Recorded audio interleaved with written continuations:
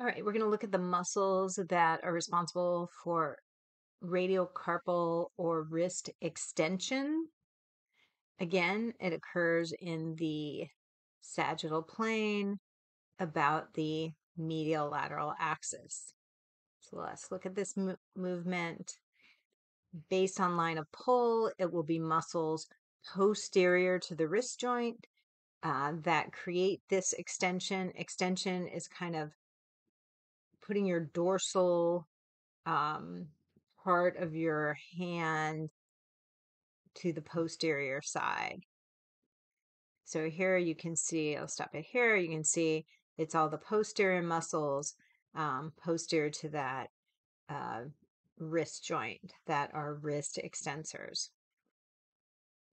All right, looking at these muscles in detail, there are a lot of them, but again, we need to make it as easy as possible. The first thing is that all of the muscles are of the posterior arm and forearm are radial nerve innervation. So looking at the superficial layer from medial to lateral, so from the ulnar side to the radial side, you have your extensor carpi ulnaris. It is very close to the flexor carpi ulnaris because we're 3D. We have our extensor digitorum, um, there's only one digitorum muscle on the posterior side and it attaches to the distal phalanges, so it can extend all those phalanges. Then we have the extensor carpi radialis brevis and the extensor carpi radialis longus. The longus is longer because its attachment scooches up on um, the supracondylar ridge of the humerus, and the brevis, like all wrist extensors come off the lateral epicondyle of the humerus, which is another um, easy way to remember the attachments for these muscles. Middle layer, we have the extensor digiti minimi. Sometimes you may read it as the extensor digiti quinti. Quinti just means five, right? It's your fifth digit, um, and it is the extensor muscle. So it's deep to the extensor carpi ulnaris since it's on the pinky side, and it extends the fifth digit, but also contributes to wrist extension. Then we have the deep layer. It's deep to the extensor digitorum. Um, so from medial to lateral, you have your extensor indicis, which is your index finger.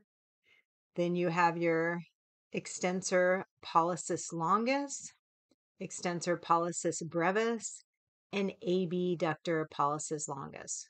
Our thumb has a lot of muscles because it can do a lot of things and it has a very large range of motion.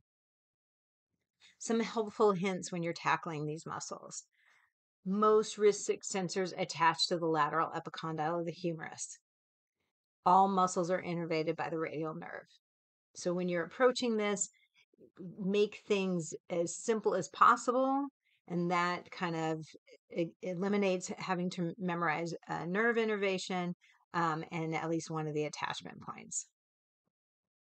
Other pictures of these muscles that are on the posterior forearm, since they're posterior, they are wrist extensors. Remember, wrist extension occurs in the sagittal plane about the medial lateral axis. And again, most are going to be called either radialis or ulnaris. So they're all coming off the lateral epicondyle of the humerus. And so then think about where the radialis might be. So radialis is going to be um, near the second and third metacarpals, right? Closer to the thumb side. So we have the extensor carpi radialis brevis, um, a wrist extensor, radial nerve innervation, we have then extensor carpi radialis longus, um, which goes to the second metacarpal. Again, radial nerve innervation and a wrist extensor. Then we have extensor carpi ulnaris, which goes to the base of the fifth metacarpal from the lateral epicondyle. Again, I would just remember lateral epicondyle for all of them. And again, radial nerve for all of them.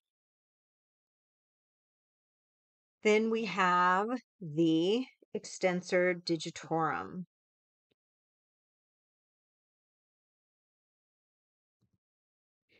again, coming off the lateral epicondyle, and this goes to the distal um, phalange of the uh, digits. So, because it is, we only have one extensor digitorum muscle.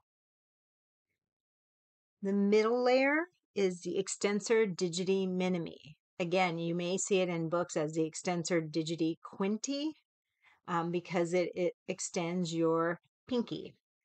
Um, so it's radial nerve and it's extension of the little finger. Again, since it's posterior on the wrist joint, it can help with wrist extension. The, the deeper ones do less with wrist extension, but I'm going to review them all here. Then we have extensor indicis, which is the deep layer, and that is extending your index finger. So it's going to the um, uh, phalange of the index finger, its radial nerve innervation, and it extends the index finger. Then we have the pollicis or the thumb muscles. We have extensor pollicis longus, which goes to the distal phalanx of the thumb, extensor pollicis brevis, which goes to the proximal phalange of the thumb, and then abductor pollicis longus, um, which goes to the base of the metacarpal of the thumb.